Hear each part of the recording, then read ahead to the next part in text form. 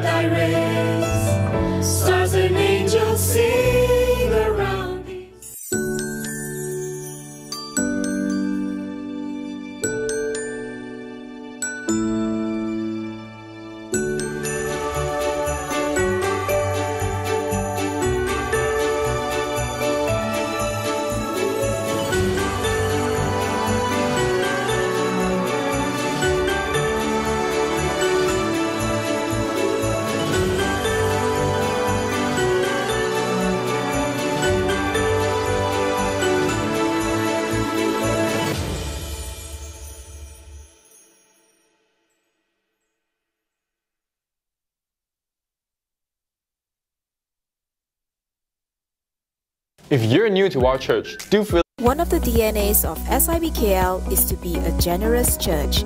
It is now so much easier for you to give. You can give via online banking transfer or DuitNow transfer. All you need to do is to scan this QR code and it will lead you to our giving page. You can also drop your tithe and offerings in the box just outside the sanctuary. It is because of your generous giving that we can be a blessing to others. Hi everyone! Here's a step-by-step guide on how you can book your e-ticket online. First, log on to sibkl.org.my then click on Physical Services. Next, scroll down and click on whichever service you would like to attend. You'll be directed to a new page where you can book your ticket. Please read through the guidelines as we care for your safety on register, select buy on map, zoom in to select your seats, click checkout. Fill in your details and you'll find the ticket in your email inbox. It's that simple. Looking forward to seeing you at church.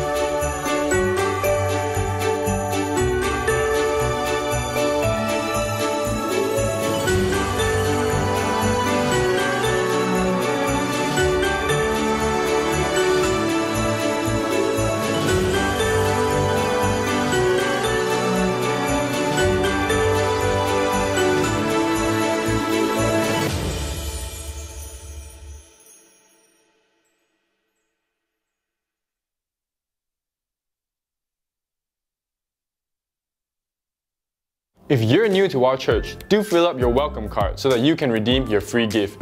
If you've parked in Bangunan Yin, don't forget to validate your touch and go card. One of the DNAs of SIBKL is to be a generous church. It is now so much easier for you to give. You can give via online banking transfer or DuitNow transfer.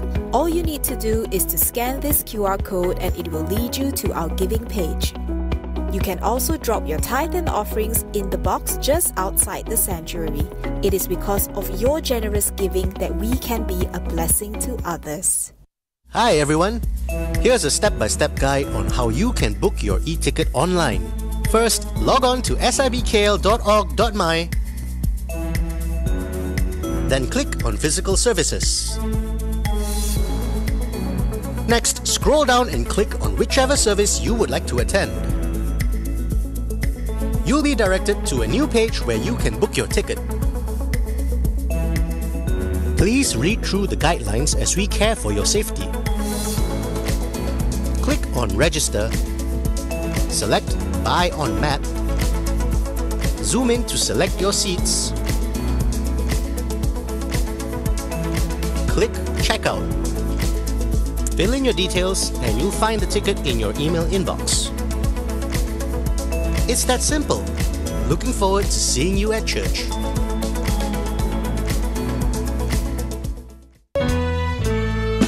Joy to the world, the Lord is come. Let earth receive her King. Let every heart prepare him room, and heaven and nature sing, and heaven and nature sing, and heaven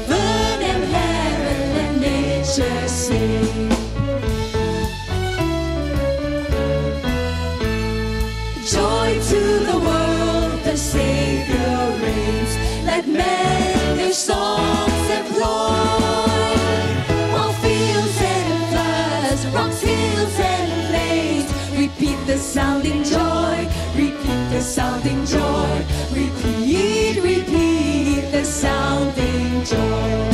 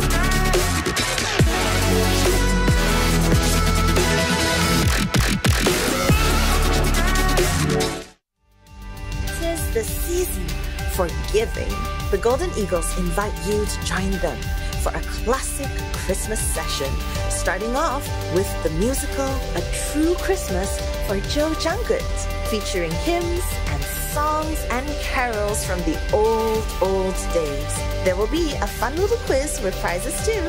After that, find out about the meaning of Christmas in Wuhan as we zoom with friends from Wuhan live. It's gonna be a fun session, we hope to see you all there. This upcoming Healing and Miracle Night has invited Pastor Sam Surindran to share on the topic God's Prison Break. Pastor Sam has been in full time Christian ministry for 34 years and also pioneered the Excel Point Community Church. He has authored a book titled Found in Christ and has since written multiple devotional books and discipleship manuals. We invite everyone to join us and be blessed by his sharing.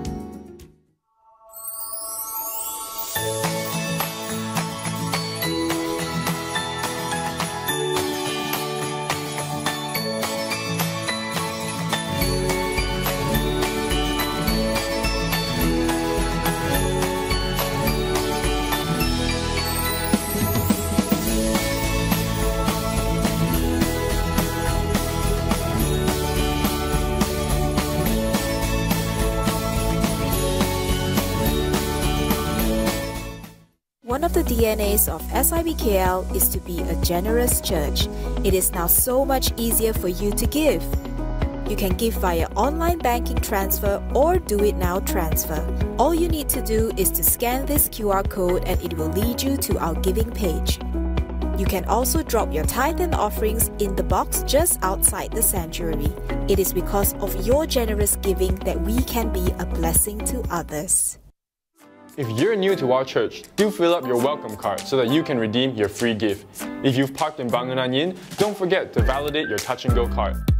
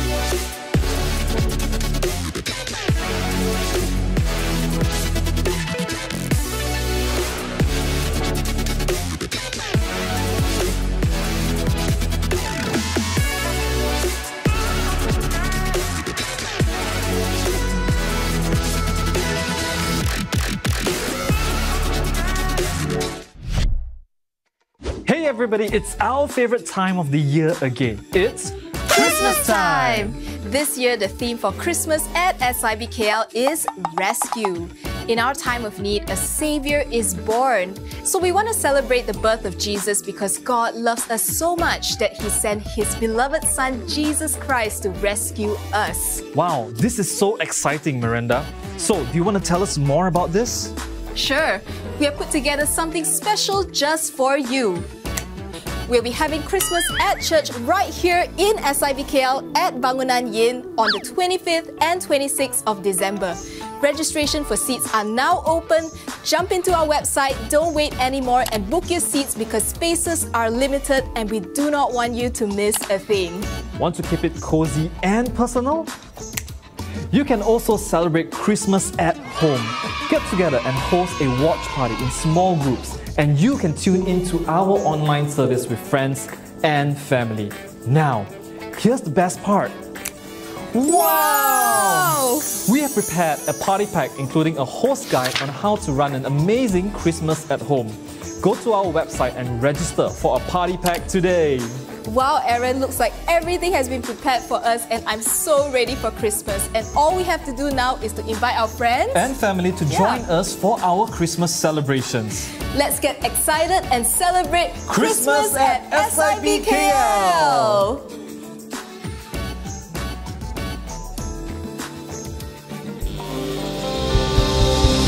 Hello, greetings to you all SIBKL. Welcome back to the church. I'm Pastor Gilbert, and it's so good to be back in the house of God. And I know that uh, you know this place is packed. Every weekend is packed. And it's so good that you got your seats. You know, Christmas is just around the corner, as you can hear from the clip just now. Wow, what are you going to do during this Christmas? You know, for me, the first thing is this coming Friday.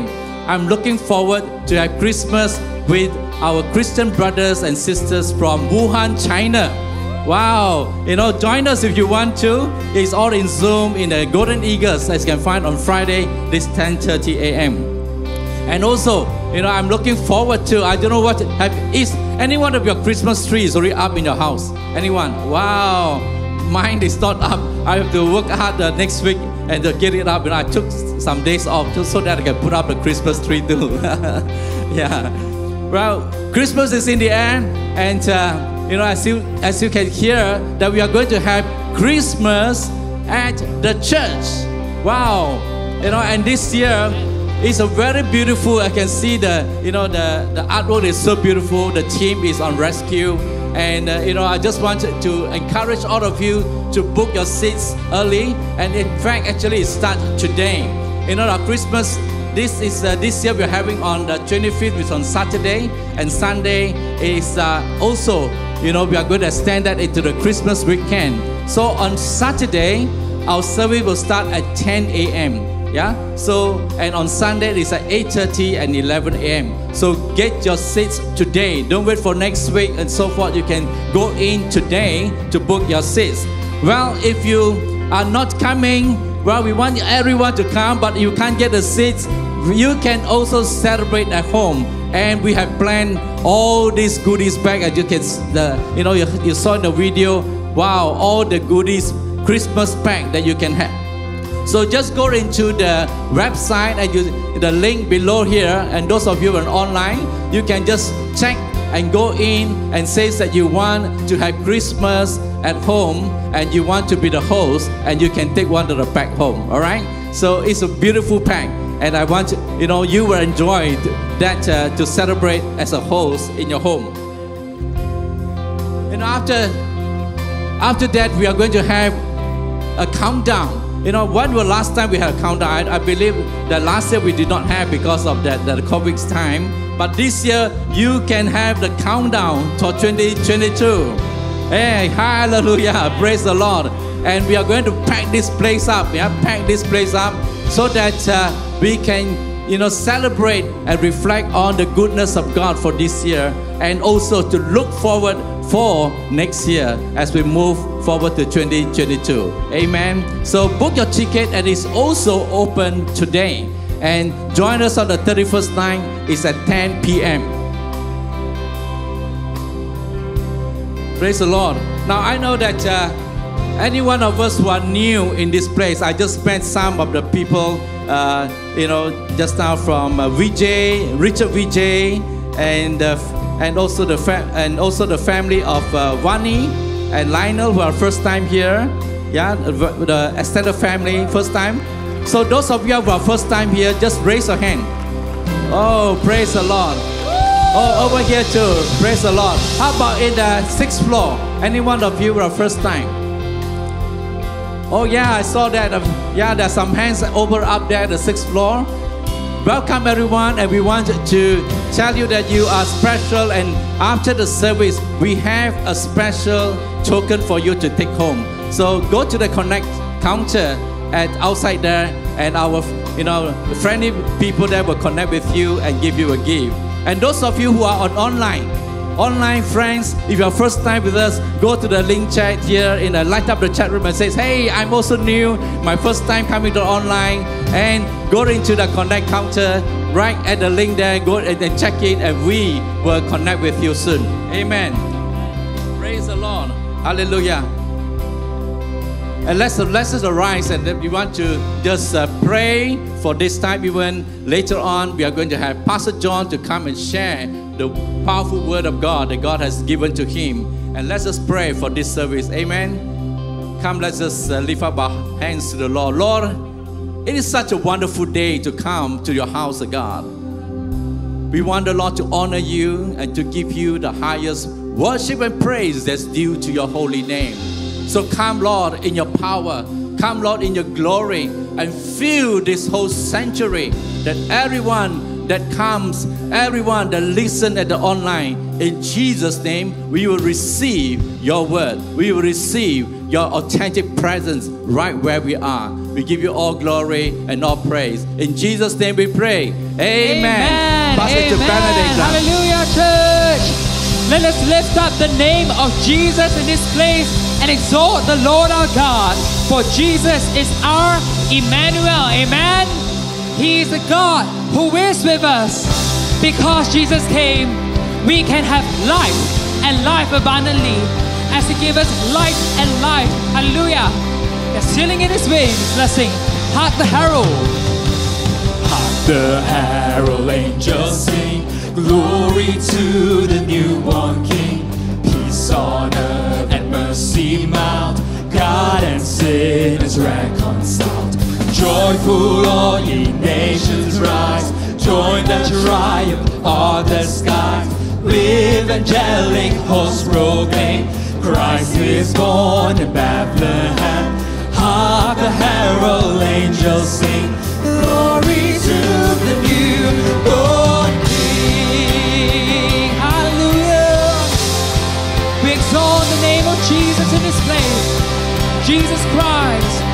heaven adore Jesus Christ. Christ by heaven. Christ by highest heaven adored, Christ the everlasting Lord. In time, behold him come, offspring of a virgin's womb. Willed in flesh the Godhead see, hail the incarnate deity. Pleases men with men to dwell, Jesus our Emmanuel. Angels sing,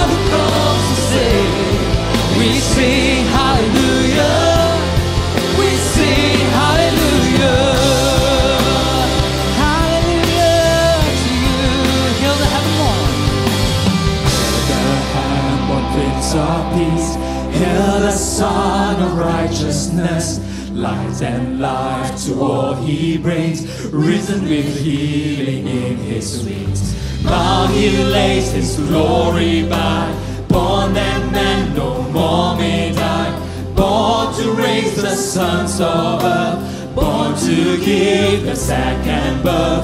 Hark the herald angels sing, glory to the newborn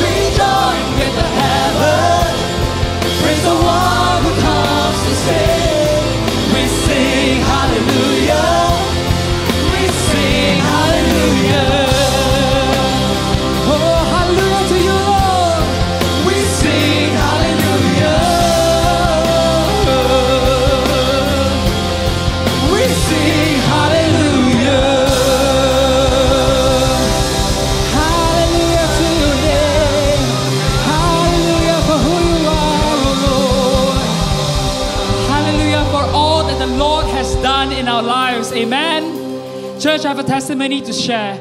So, two years ago, my wife and I, we lost our firstborn son. But we were trusting God for a breakthrough. And last year in December, my wife conceived again, but this pregnancy has been really trying and difficult. There were three instances that we actually went to the emergency department because of bleeding.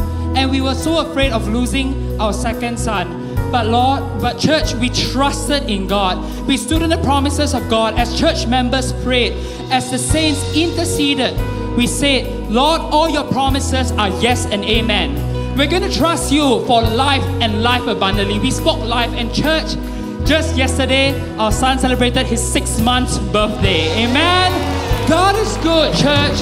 If you come with a need today, let's declare and declare that our God is good.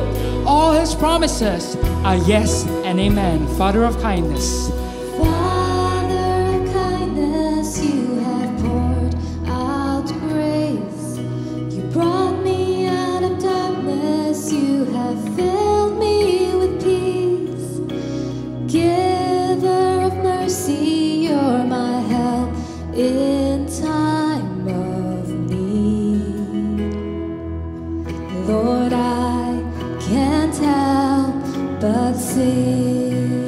Faithful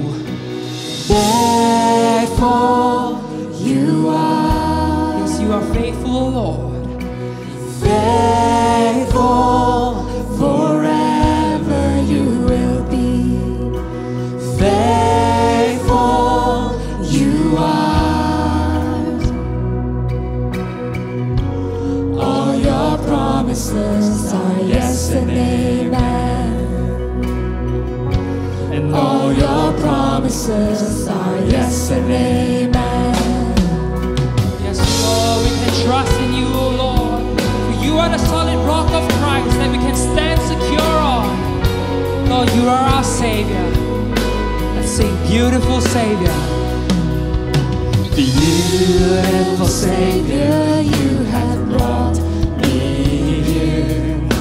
You pulled me from the ashes, you have broken every curse.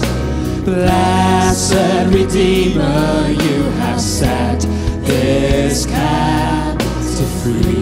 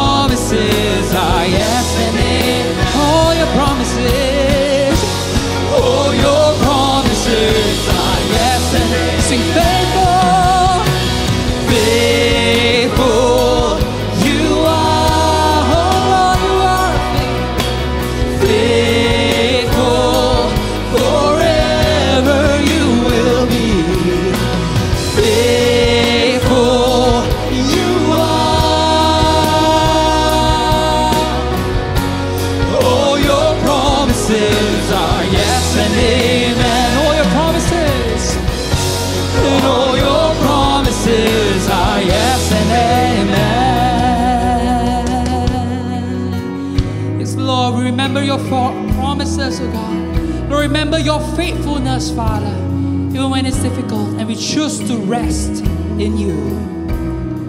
and I will rest in your promises. My confidence is your faithfulness. Let's declare to the Lord. I will rest, Yes, Lord. in your promises. My confidence is your faithfulness.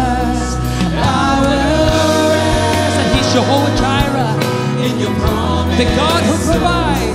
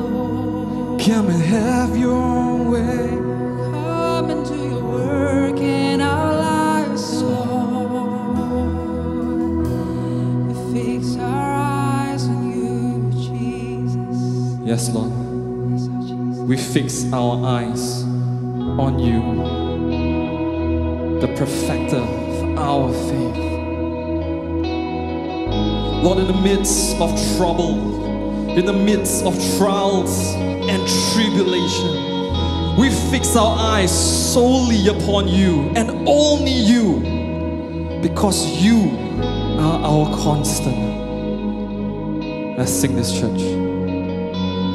You're my constant in the chaos. You're my compass when the road is long.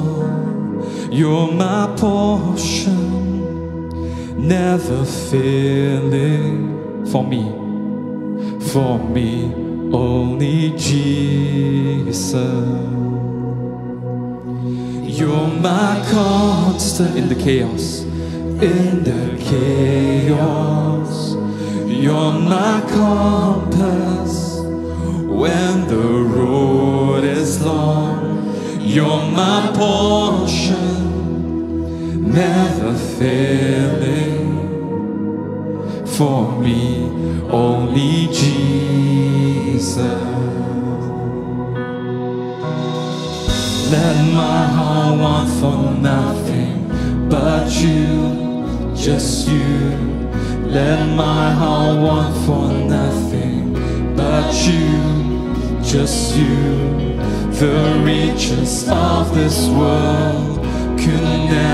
satisfy. Let my heart want for only you. Come on, church. Let us cry out to Him that He is our constant. He is the only one we want. He's our portion. He's our center. You're my center. Should I wander? You're my future.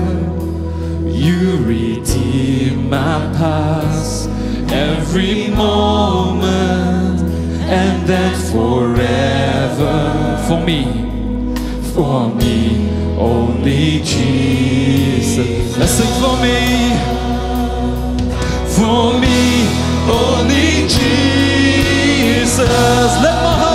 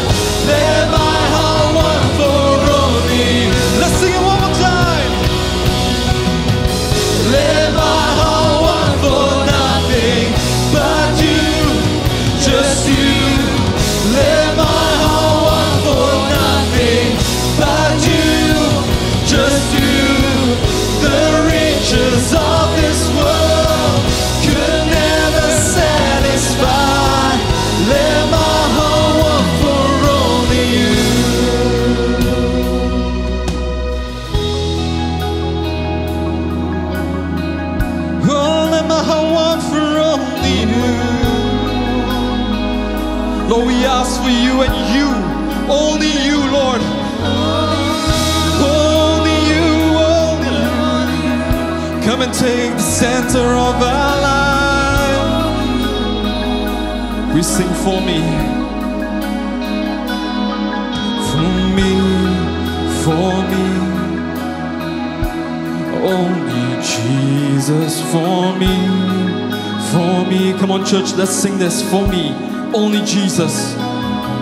For me, for me. Make this our declaration. Only Jesus for me, for me. There's no one else but you. Only Jesus for me, oh, for me. Yes, Lord, only Jesus. For me, for me. Come on, give me Jesus. Only Jesus for me, for me. Come on, church, let's cry out to Him. Only Jesus for me, for me,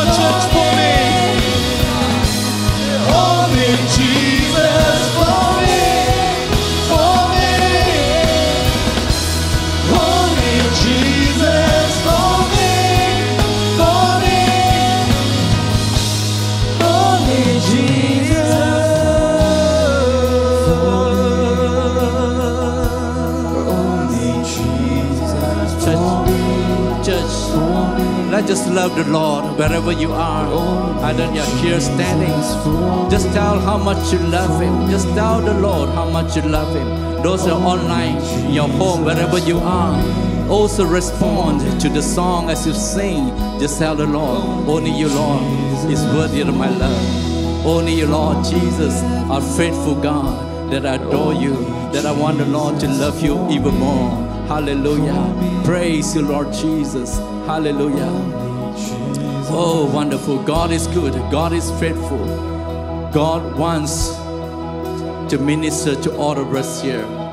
You know, when I just came up, the first thing that I felt was my stomach here. That is a pain. I don't know any one of you have abdomen pain or stomach pain that you need a, a healing from the Lord. I just want you to raise your hand. Even those of you who are online, just just raise your hand. Any one of you who have this abdomen pain, pain here, or your stomach pain. Yes, I, I see that hand.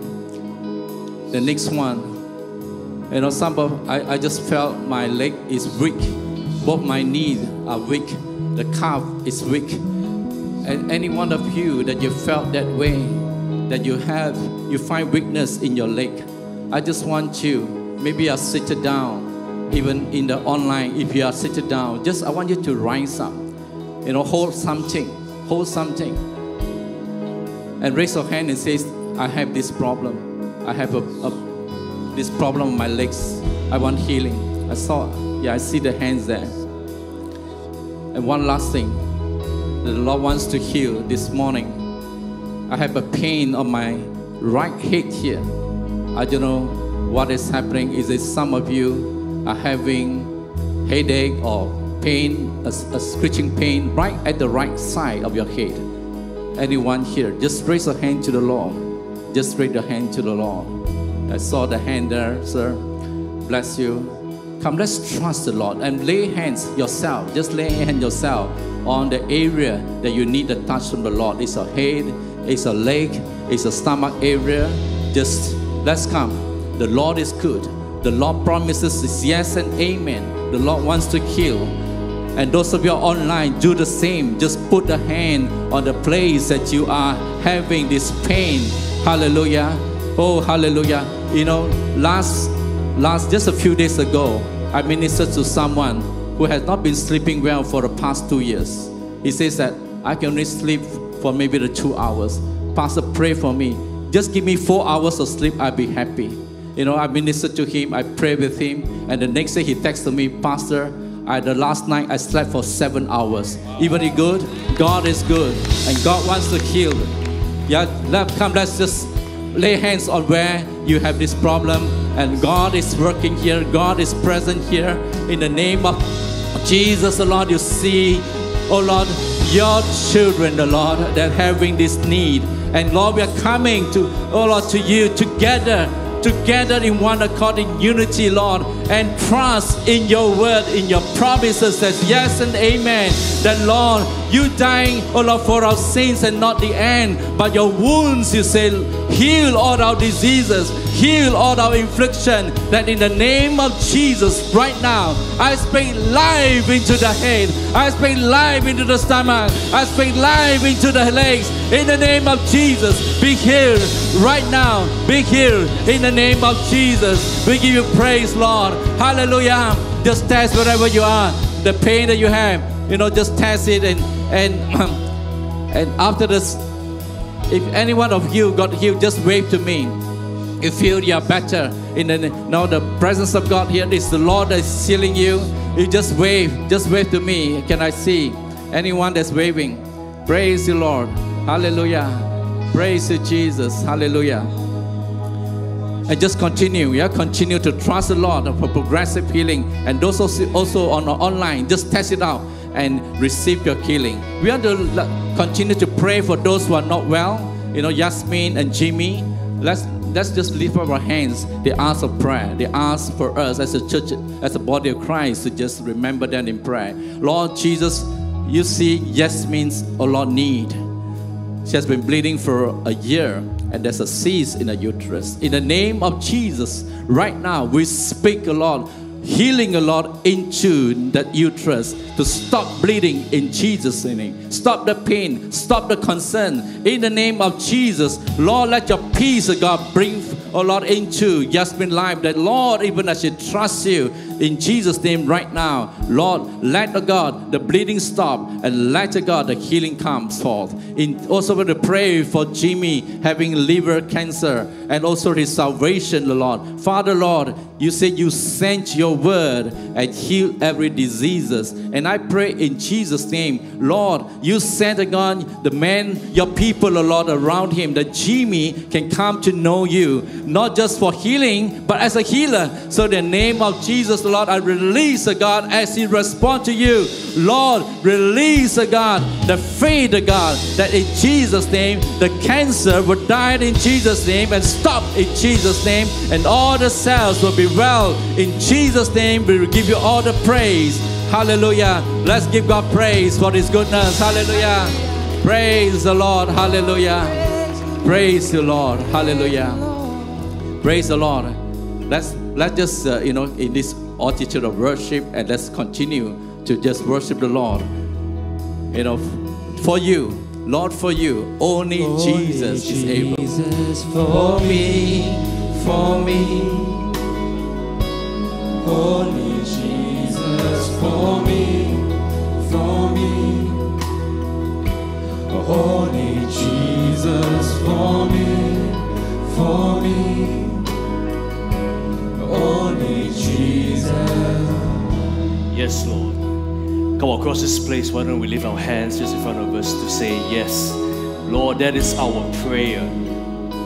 For me, only Jesus. And as we gather around your word this morning, Lord, I pray that you will give us a deeper and greater revelation of what it means to have only you, to only live for you, Jesus.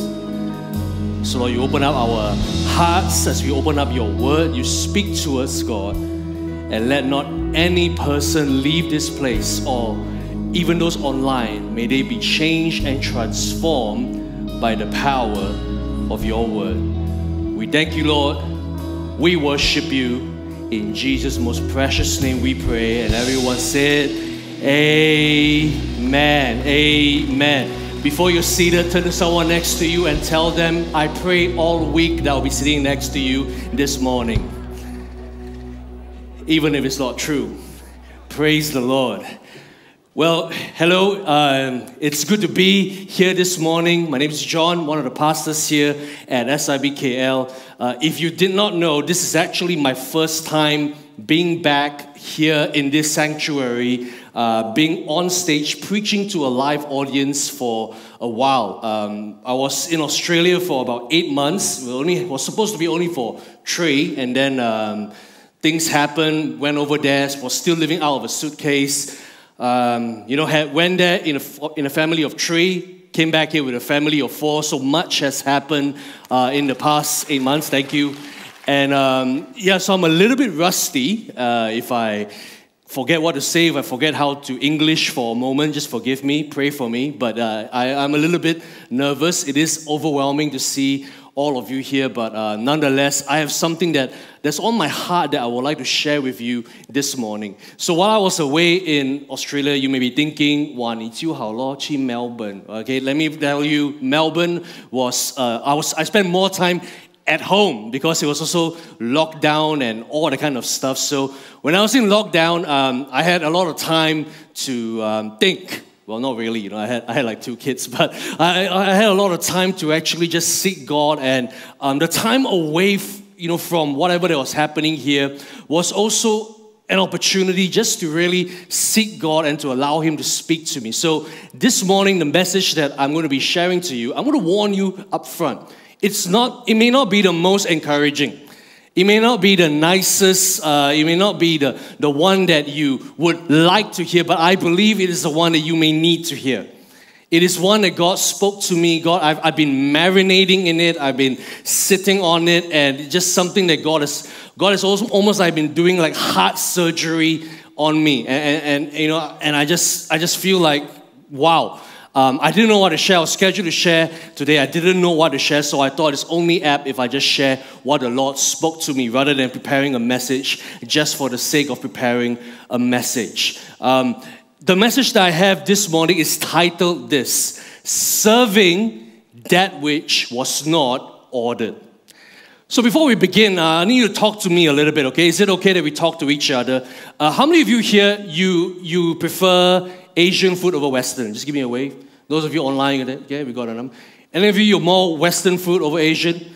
Anybody? Right? Okay, we've got a few. We've got a few. Okay, so I see the, I, I missed those on the balcony. Asian food, anybody? Who Asian? Okay, Asian. Western food, anybody in the balcony? Online? Uh, sorry, I won't be able to see but I trust that because majority of the people here put their hands up for Asian food, I'm just going to go with the majority, okay? Now, how many of you here, you are more, uh, more of a rice person than noodles? Anybody? Just for those, uh, more rice person, okay, yeah? More, uh, anybody more noodle person?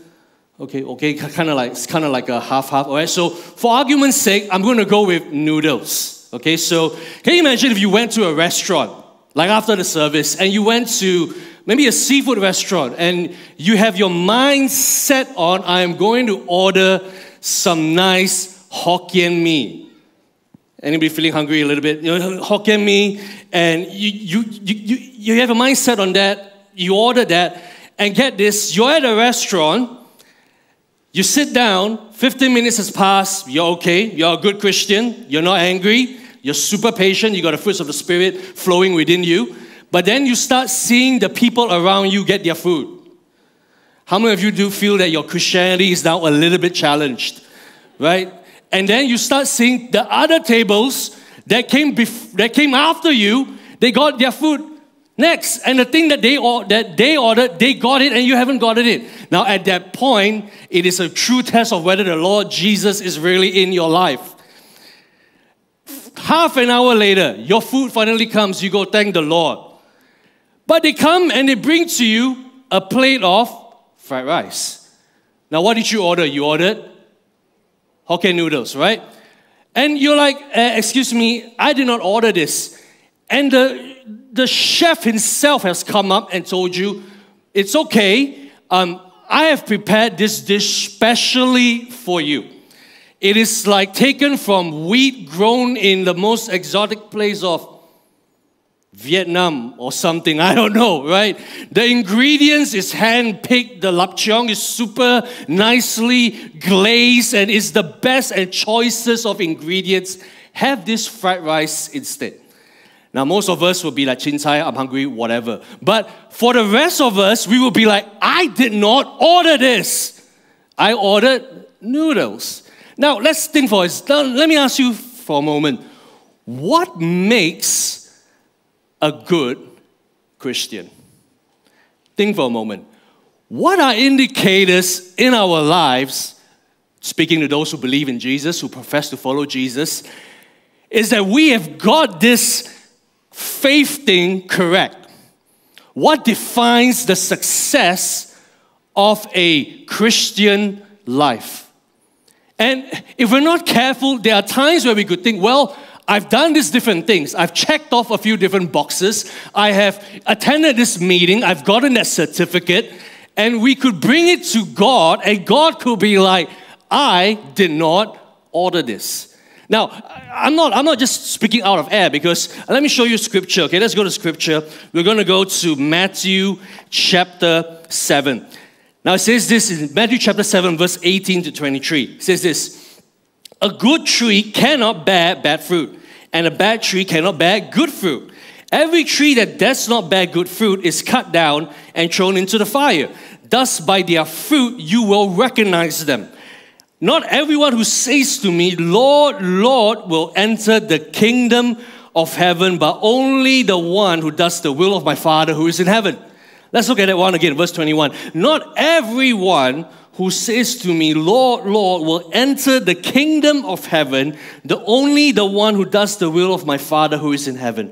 Verse 22. Many will say to me on that day, Lord, Lord, did we not prophesy in your name and in your name drive out demons and in your name perform many miracles? Then I will tell them plainly, I never knew you. Away from me, you evil doers. Somebody say, ouch. Ouch.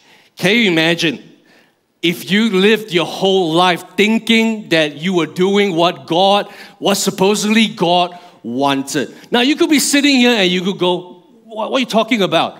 I'm blessed. You know, my life's good, children's okay, business is doing well, ministry is growing, all these things, you know, I'm blessed. Let me tell you something wealth is not an indicator of God's approval on your life. Let's, let's, let's debunk that for a moment, okay? Just because you are rich, it doesn't mean that God is with you. Because if that's the case, then most of the people in the world who are the richest people in the world, they will be Christians. But we know for a fact that they are not. And let's think about the opposite as well, okay? Poverty. Poverty is not necessarily more spiritual than wealth.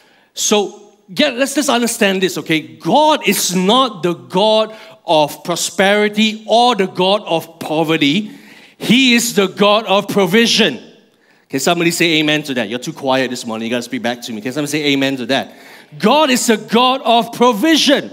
So God provides, and we all need God's provision, whether we are rich or whether we are poor. We need material needs from God. We need spiritual needs from God. Just because you're rich doesn't mean you have the grace of God on your life. We all need God's provision.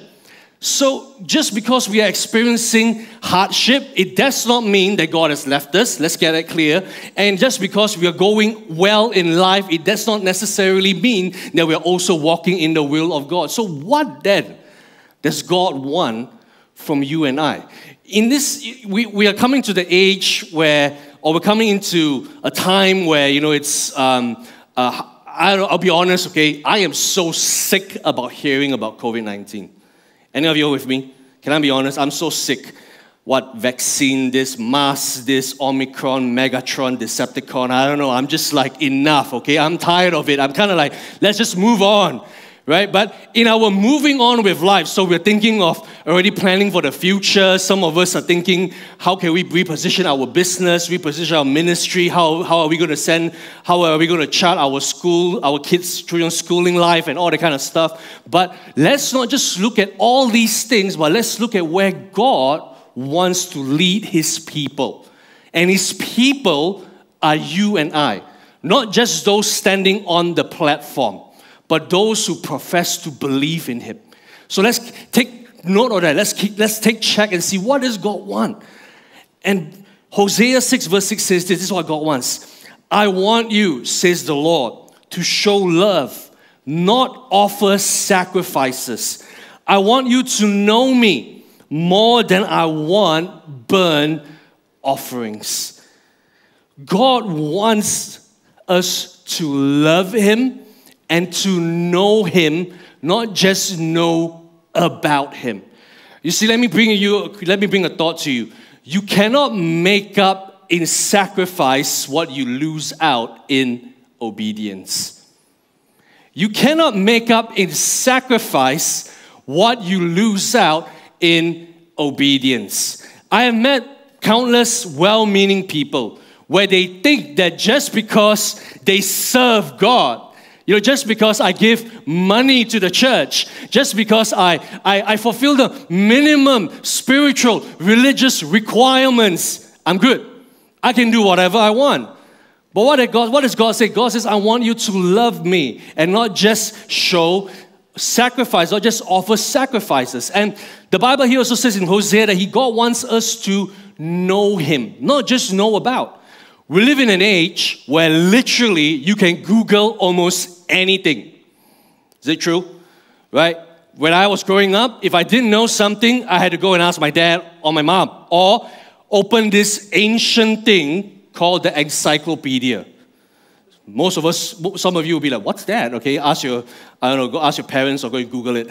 Uh, we live in an age where we can Google absolutely anything.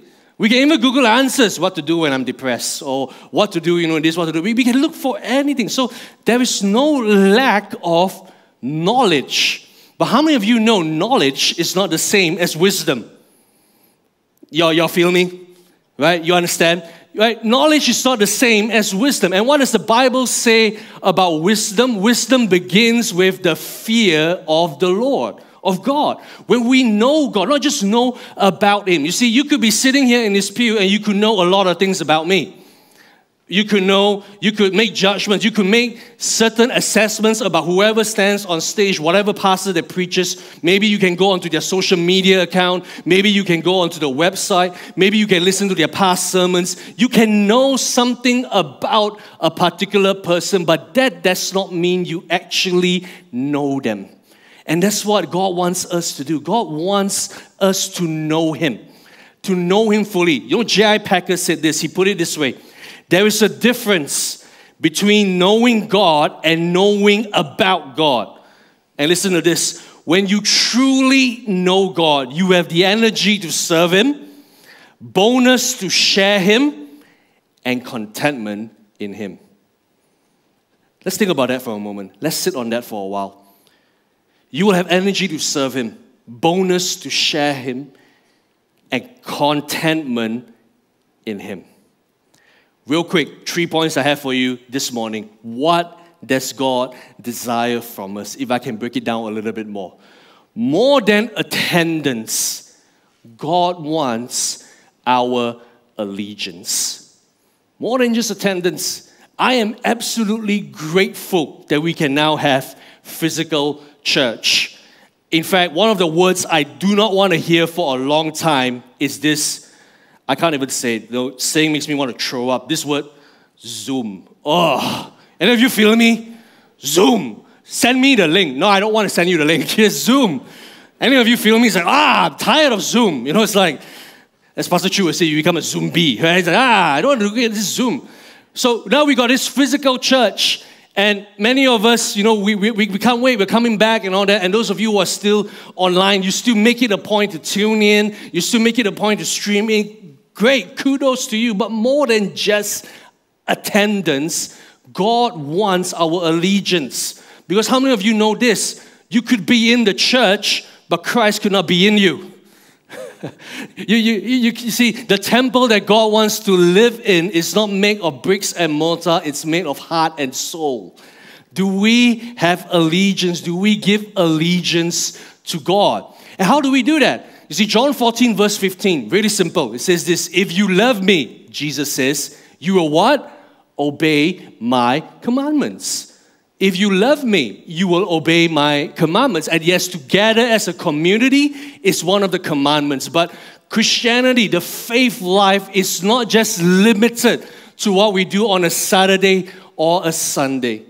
Let me give you an example. Uh, you know, I, have I've spoken to um, so in my in the last nine years that I've been doing ministry, uh, majority of my work has been amongst youth.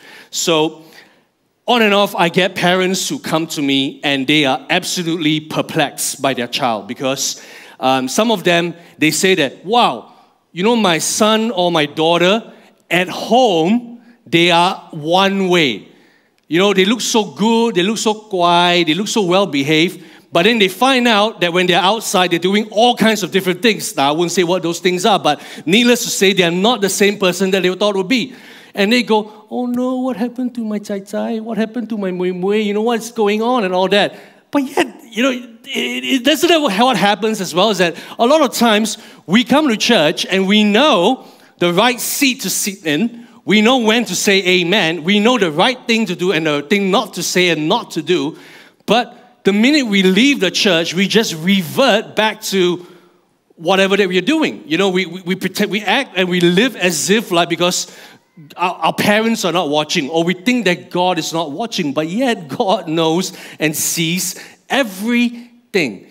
Do we live a life that is pleasing unto Him?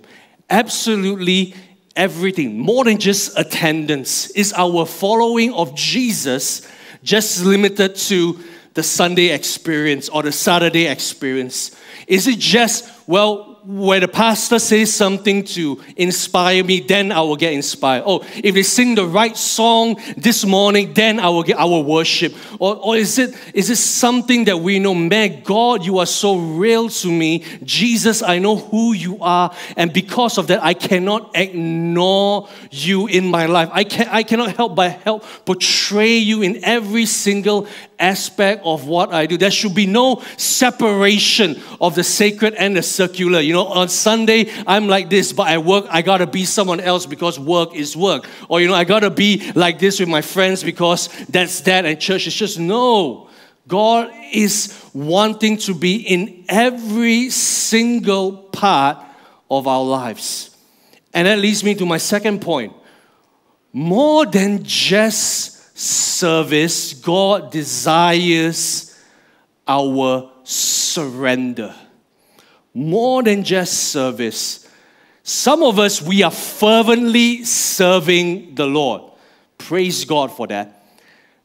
Praise God for that. Whether it's in the building like this, thank you to all the worship team for making services work even throughout the pandemic and throughout home and all that kind of stuff. Great. Some of us are so faithful. We turn up every week, uh, week in, week out. We set up, we do all of that. Some of us, yeah, we, we are serving God even in our workplace, in our families, and all that. We do so much for God, but yet we are not truly surrendered to Him.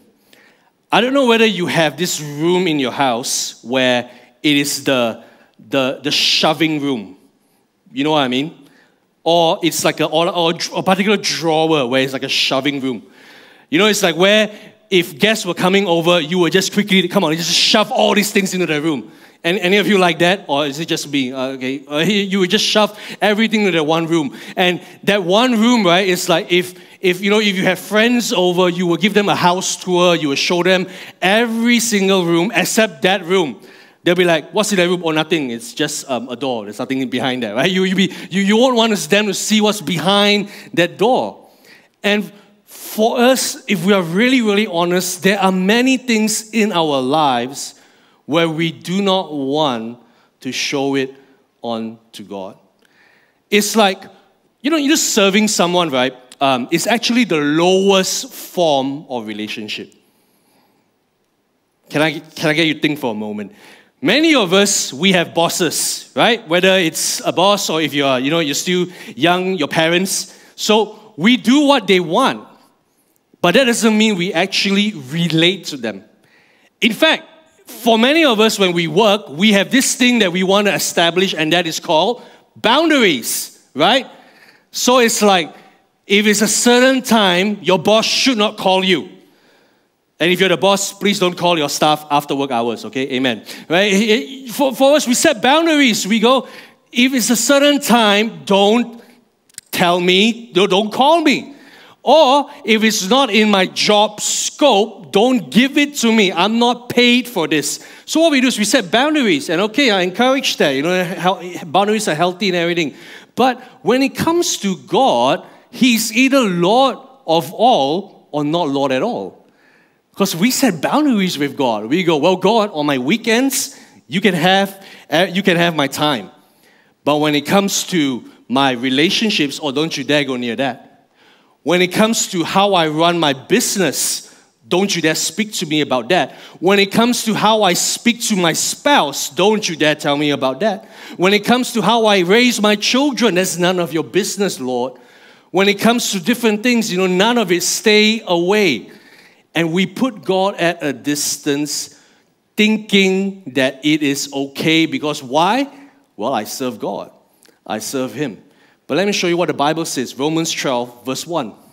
It says this Dear brothers and sisters, I plead with you to give your bodies to God because all that He has done for you. Let them be a living and holy sacrifice, the kind that He will find acceptable.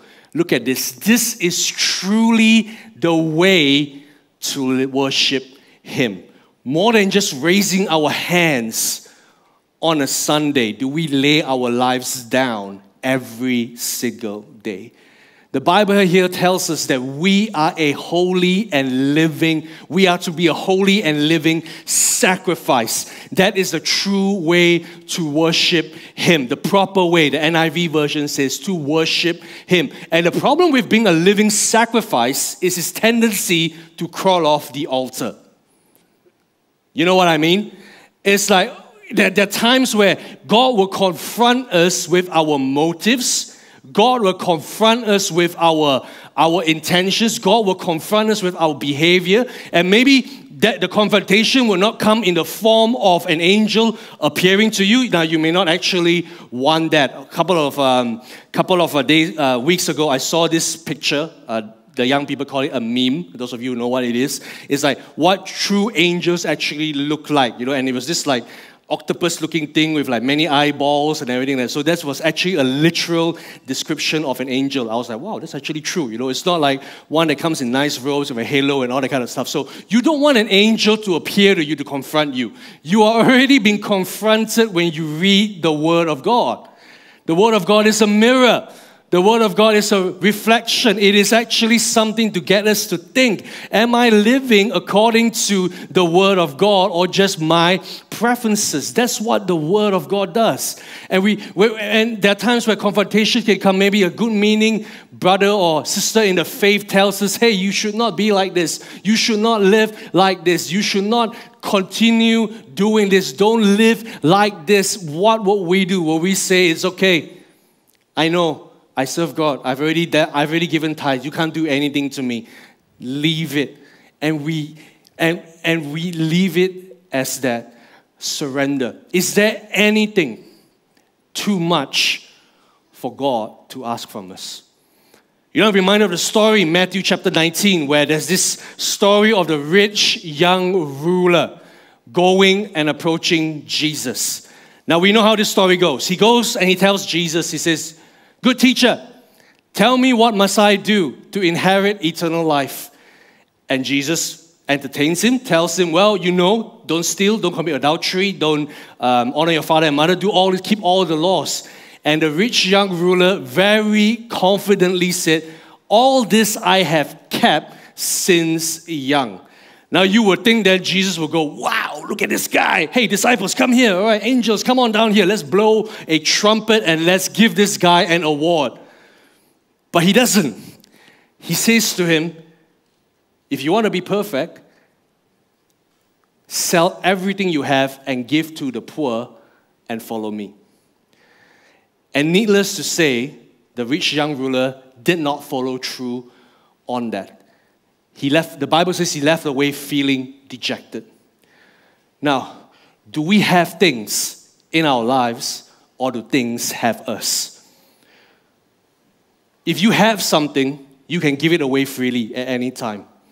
But if you had to struggle and think whether I can actually give this up, it is arguably, it can be arguably said then that you don't have that thing.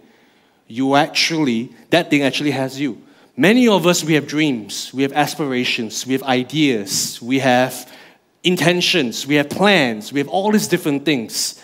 And we, and instead of coming to God and go, God, is this what you want? We want to come to God and we want to rubber stamp it on our lives. That's what, i that's what I do a lot of times. I'll be really honest with you. I'm not preaching this message to you, uh, not just you. I'm, I'm actually preaching this to myself as well. There are many things, times in my life I thought this is what God wants for me, this is what God wants me to go. And when God challenges that, I find it so difficult to say yes to God. But in the same way, will we surrender it onto Him? I'm also reminded of the story of Abraham. How many of you good old Abraham, Father Abraham? He, man, Abraham went through a lot. Like he was, a, he, in his old age, he was given a promise, you are going to have a child. Now, after having two young kids, can I tell you, when I'm like 100 years old, if the Lord comes and tells me, you're going to have a child, I'll be like, Lord, please not me. Can you pick somebody else, okay? Right? But they were, he, wants, he wanted a child, and the Lord said, You are going to have a child. And then he went through all this drama in Egypt with Sarah. And then he went through this drama with Ishmael. They went through all of that. And then finally they have Isaac. And then one fine day, the Lord speaks to Abraham and says, Hey, Abraham, Take your son, your one and only son, and bring him up to the mountain to sacrifice him. Now, if I was Abraham, I'll be like, hold up, you got a wrong number, God. Right? You, you dialed the wrong number. There must be, you know, there must be Abraham, somebody else, not me. God, this is the promise you have given me. This is what you have spoke to me. After you don't know what I've been through to get to this point, and now you're telling me to give it up. But Abraham didn't do that. Abraham got up early in the morning, told Isaac to come on, and they went up the mountain, and we know how the story goes. Is there anything that we will withhold from the Lord? Is there something? Is there anything? Is there any price too much to pay if God were to challenge us? My last point is this not just our own plans, He desires us to live out His purpose. Um, here's a revelation for everybody, okay?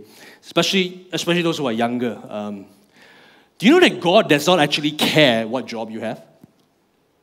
Can be real. God doesn't care whether you become an accountant or whether you become a doctor or become a lawyer, whether you become a creative person or whether you become this or become that. God doesn't care. God does okay, not that God doesn't care, but God is not particularly um, wanting to be so specific about that.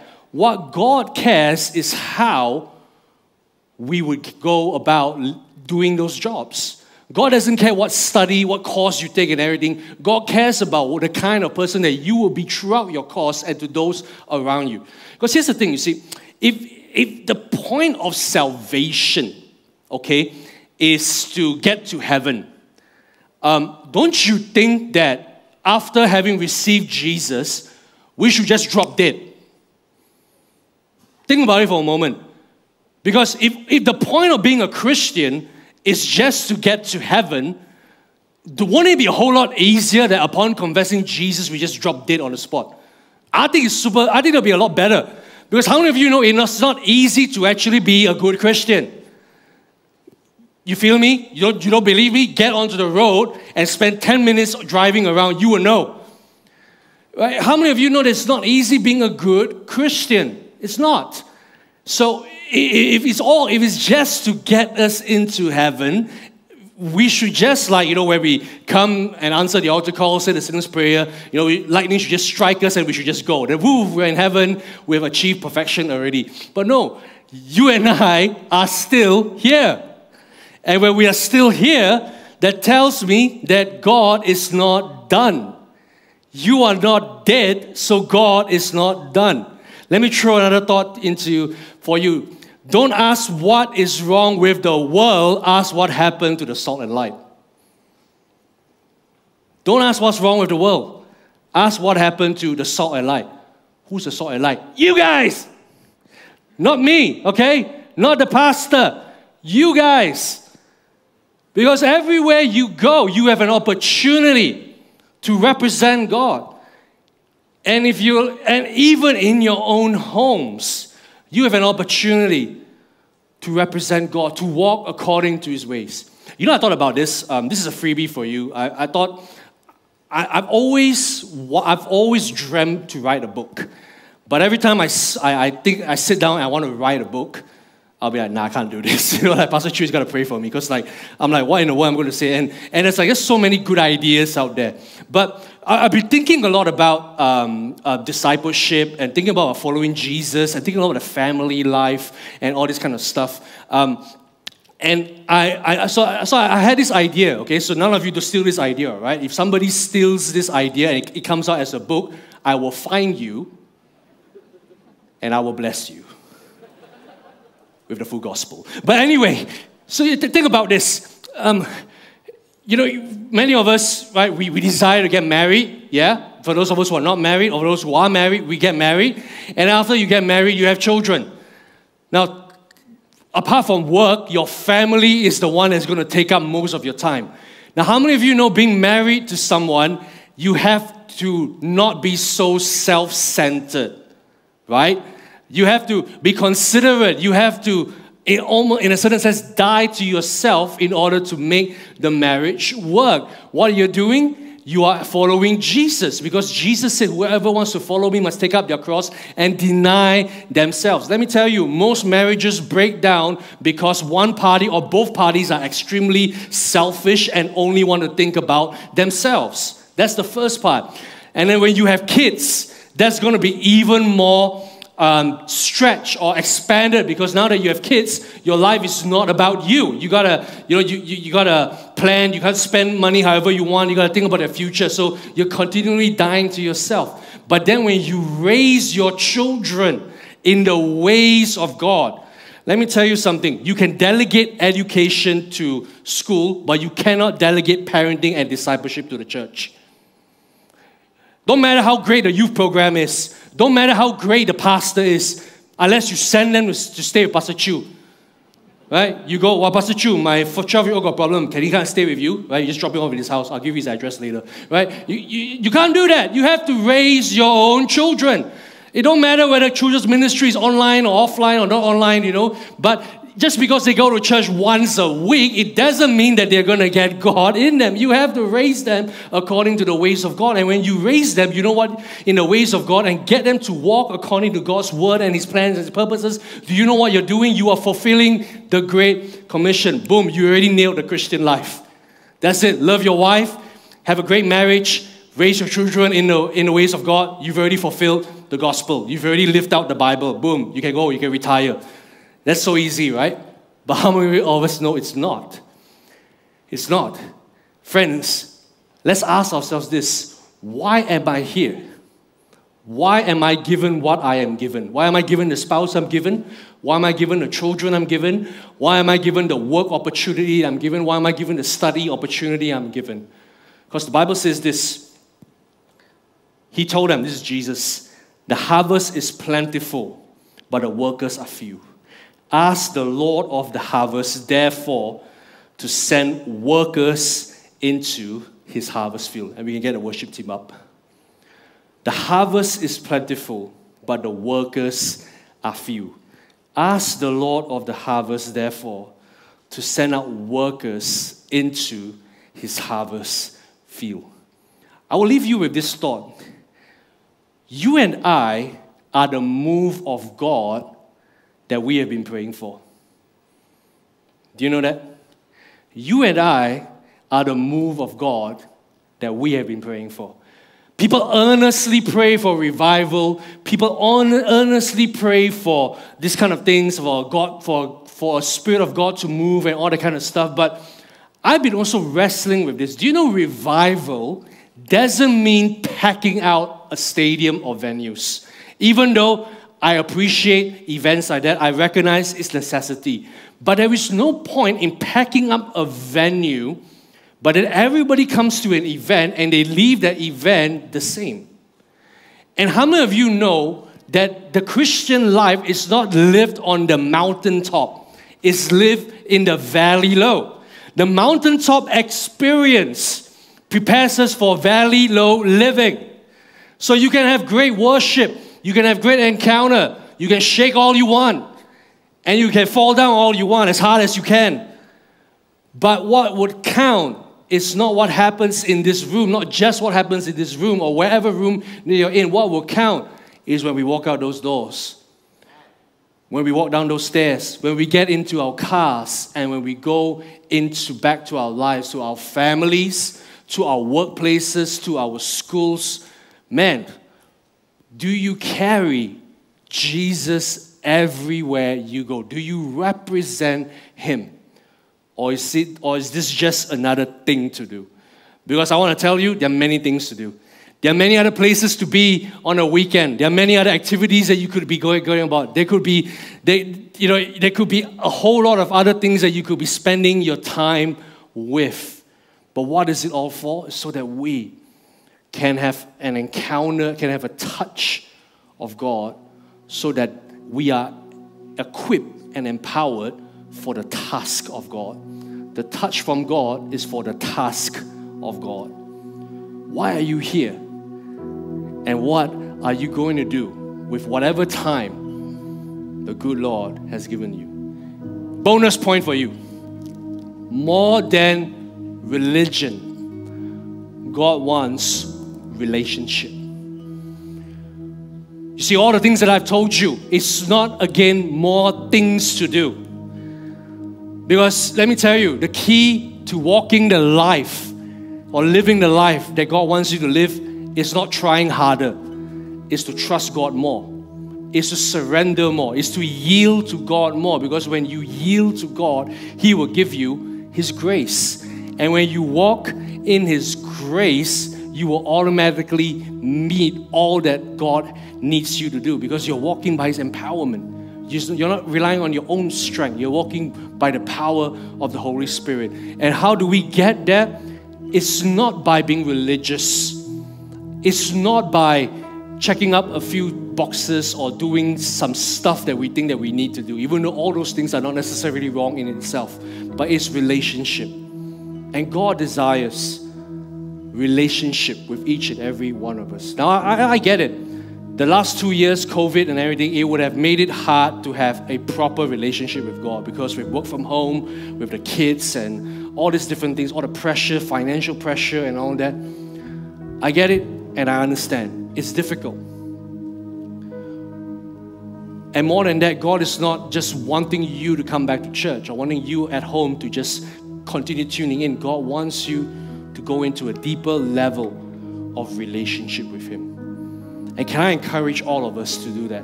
That we get into a deeper relationship with God.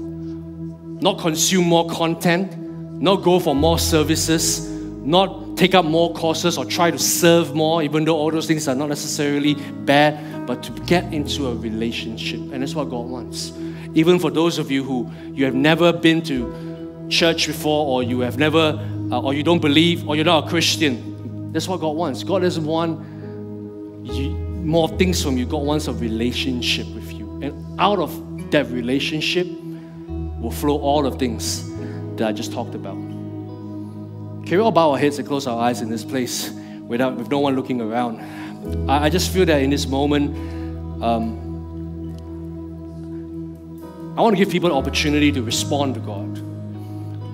You're not responding to me, you, you understand? You're, you're responding to God. And if you are here in this place and you know that there is an area in your life, or there are areas in your life, there are things in your life that is not right, or you know that there is a call that God has placed on your heart, but you have been avoiding it and you have not been, you have been pushing it aside. You know that God is leading you to do something or make to make a certain decision, and you have been pushing it aside. Can I say that this day would you be obedient and trust God? If there are areas in your life that you know is not right, and you go, God, I need your grace in this area, will you surrender that part of your life onto God? With nobody looking around, okay? With giving everybody some privacy.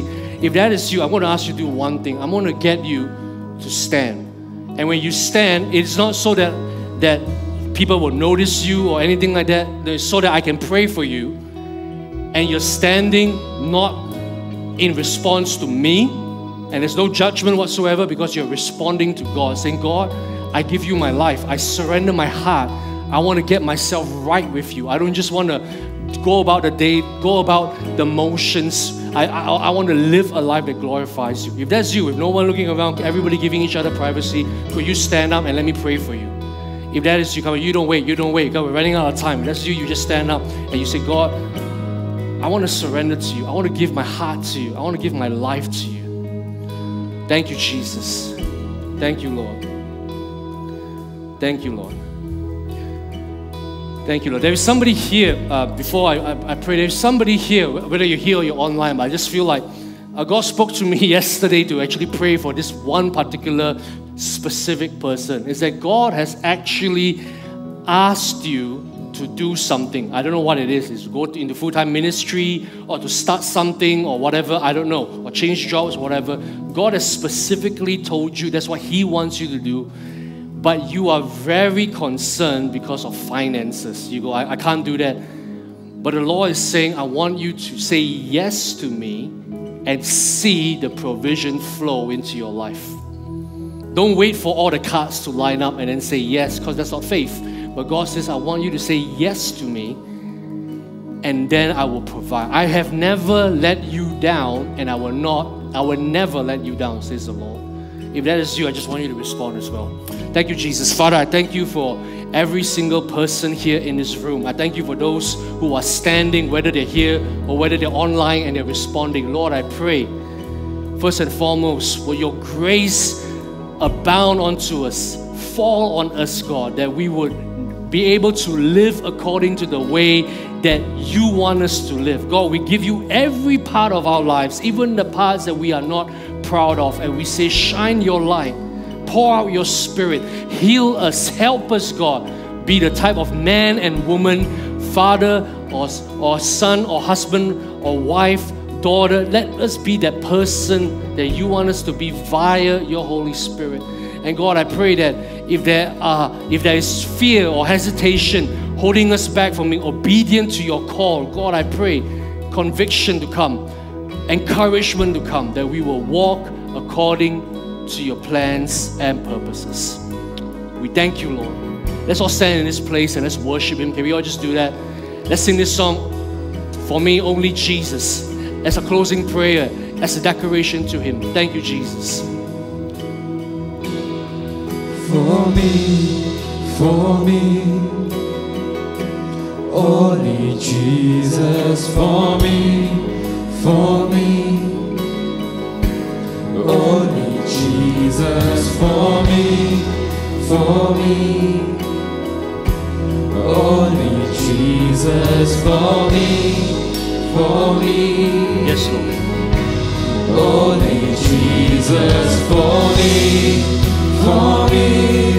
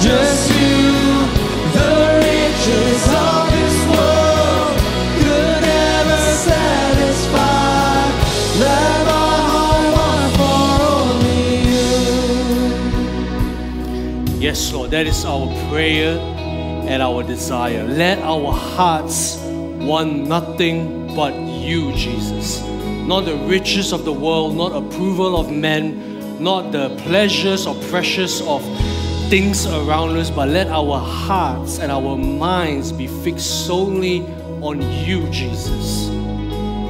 On you. We thank you, Lord, for this time, and we thank you for this opportunity that we can worship and that we can gather around your word. And I pray that whatever that we have experienced today, whether it's through worship, prayer, or the word, we would not just forget about it as we exit this place, but we would it would take root and produce good fruit. Fruit that will last, as your scripture says, fruit that will last in us. And let and help us, God. Help me, God, to continue to live a life that glorifies you and that's worthy of you. The times that we mess up, that I mess up, let your grace abound and let us continue to persevere and not give up to doing good works because in due time we will reap a harvest as Galatians 6 verse 9 promises. We thank you for this time. We give you back all the praise and all the glory. We glorify you, Lord. In Jesus' most precious name we pray. And everyone say, Amen. Amen. Amen. Thank you for coming. I hope that encouraged you and I hope that challenged you. For those of you online, there is a link that you can jump onto for prayer if you need to someone talk to, or if you are new to us, even online, you can go onto this link. And for those of you here in the building, if you uh, need prayer or something, pastors will be here as well. But otherwise, God bless you. Take care. Have a good week ahead. Live for Jesus. See ya. You for joining us for service today. If you would like someone to pray for you, head over to the link and our pastors and leaders would love to pray and connect with you. One of the DNAs of SIBKL is to be a generous church. It is now so much easier for you to give. All you need to do is to scan this QR code and it will lead you to our giving page. You can give via online banking transfer or DuitNow transfer. You can also drop your tithe and offerings in the box just outside the sanctuary. It is because of your generous giving that we can be a blessing to others. If you're new to our church, do fill up your welcome card so that you can redeem your free gift. If you've parked in Bangunan Yin, don't forget to validate your touch and go card. Hi everyone! Would you like to get to know SIBKL a little bit more?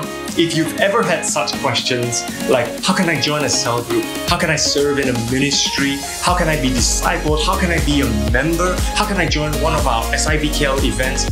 Or any other questions, then I invite you to click on the link below and we will connect with each other via WhatsApp.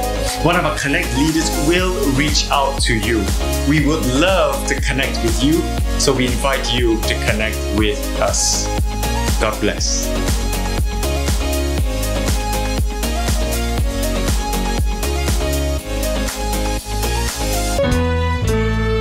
Joy to the world, the Lord is come. Let earth receive her King. Let every heart prepare him room. And heaven and nature sing, and heaven and nature sing, and heaven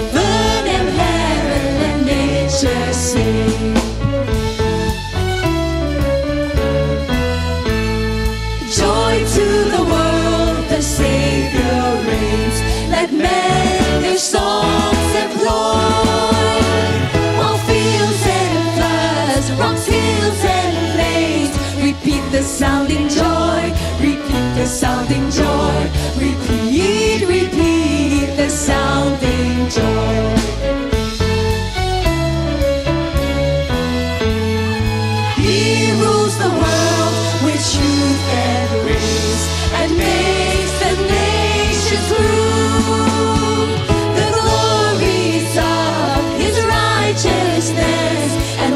Wonders of his love and wonders of his love and wonders and wonders of his love and wonders of his love and wonders of his love and wonders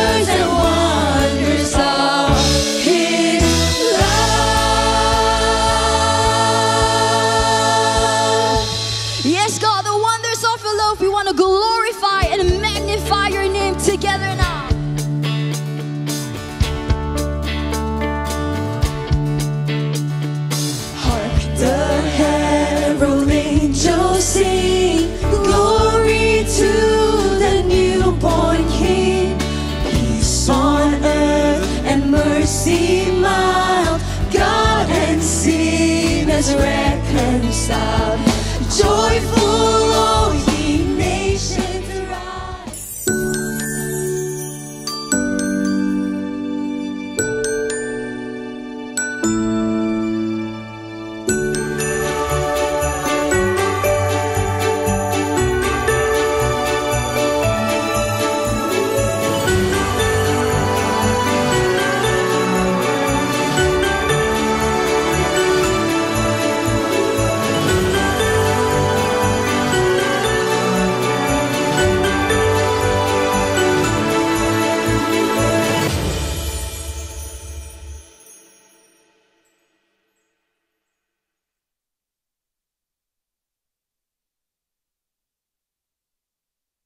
If you're new to our church, do fill up your welcome card so that you can redeem your free gift.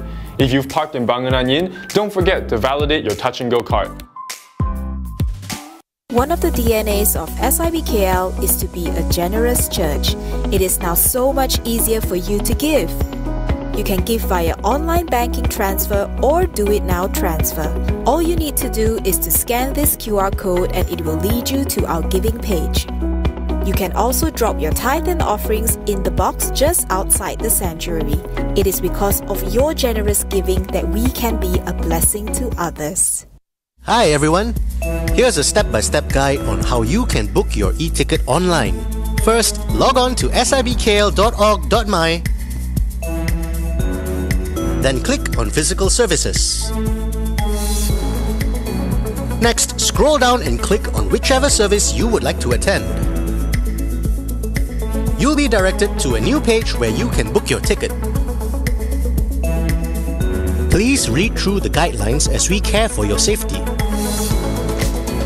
Click on Register, select Buy on Map, zoom in to select your seats, click Checkout. Fill in your details and you'll find the ticket in your email inbox. It's that simple. Looking forward to seeing you at church.